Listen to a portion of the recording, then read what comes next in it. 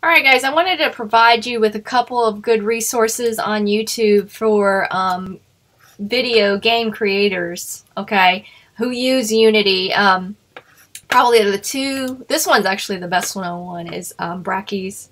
Has videos every Sunday. He's providing you a lot of um, content on how to create games in Unity. Okay, so has tons of stuff. Okay, so he's a really good one. The second one I um, was told is really good is Jimmy Vegas. Okay, so his videos, um, all about Unity, will take you literally step by step. He has playlists already pre-set up in his, which is really super nice. Both of them provide you with um, assets for free.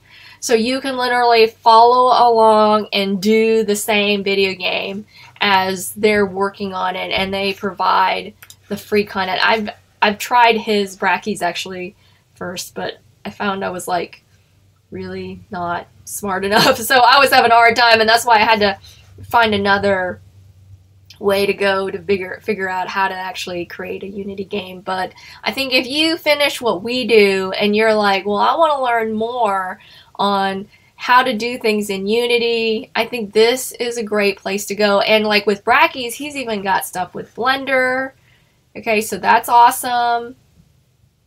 So um, I just wanted to provide those two resources. So if you want to really delve further into video games, um, those two are really good resources.